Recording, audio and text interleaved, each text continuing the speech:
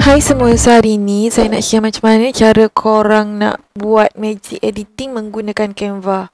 Magic editing ni macam contoh kalau korang nak tukar colour sesuatu objek dalam gambar tu ke, nak tukar objek dalam gambar tu ke. So saya akan share dengan korang macam mana nak buat. Mula-mula kita pergi dekat kita punya account Canva. Lepas tu kita pilih create a design and then kat sini korang boleh pilih lah korang nak size apa untuk korang punya canvas tu. Okay, macam contoh saya pilih poster portrait kan. Saya ambil salah satu gambar dekat sini. Okay, contoh gambar ni kan. Okay, kita besarkan. Macam mana kita nak tukar color objek dalam gambar ni. Okay, mula-mula kita pergi dekat edit image. And then kita pilih magic edit. Uh, dekat bahagian cell area to edit ni korang boleh pilih sama ada nak pilih brush ataupun klik.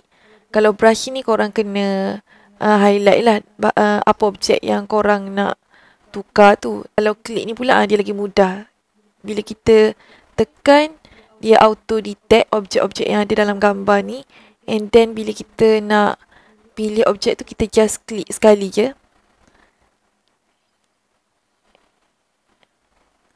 Lepas tu dia akan detect and then kita bagilah prompt kita nak buat apa dekat dia. Contoh saya nak tukar warna bakul tu kepada warna pink contohnya. So saya tulis turn to pink colour. And then klik generate. Korang tengok kat sini, ya, dia dah tukar dah. Okay, ada beberapa pilihan diberi kat sini. Nak pink macam ni ke, pink macam ni ke, pink macam ni ke, pink macam ni ke. Okay. Contoh saya pilih pink ni. And then uh, lepas kita dah puas hati, kita klik done. Okay, contoh sekali lagi saya nak tukar warna kerusi ni pula.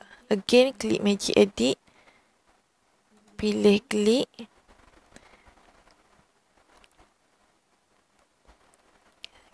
Klik dekat bahagian kerusi and then bagi prompt.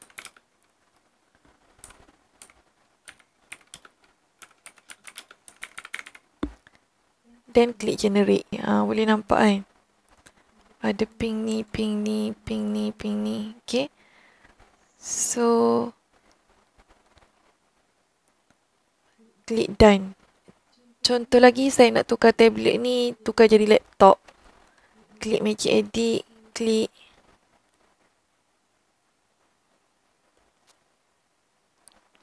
Uh, pilih tablet ni, tulis turn to laptop. And then klik generate. So, uh, dia dah bagi pilihan laptop tu kan.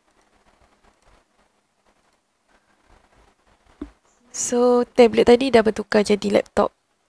Now, contoh saya nak tukar pula bunga ni, saya tak nak bunga macam ni, saya nak bunga rose warna merah. So saya tulis je lah.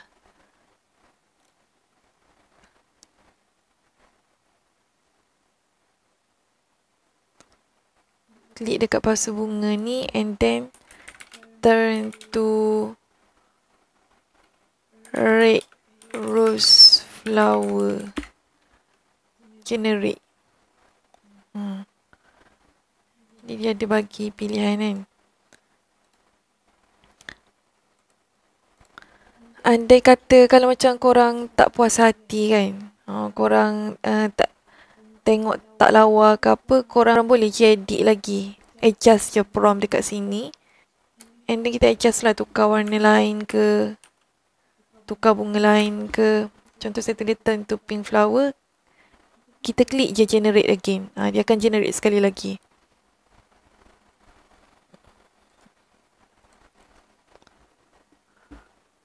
Okay, ada kata korang uh, tak suka dengan apa yang dari generate tu, korang klik je lah, cancel. Uh, dia akan kembali kepada warna asal. Kalau kita clear, uh, dia akan kembali kepada warna asal. Okay, so saya akan tukar kepada merah balik. Turn to red flower, generate.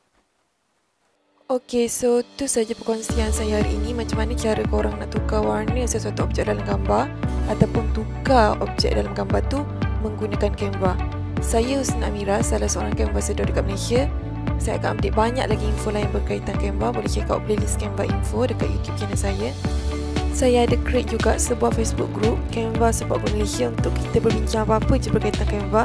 Dan kat situ juga saya akan update info-info, apps, tips dan hacks terbaru. Jadi jangan lupa untuk follow supaya korang tak ketinggalan. Link dalam description box dan comment box.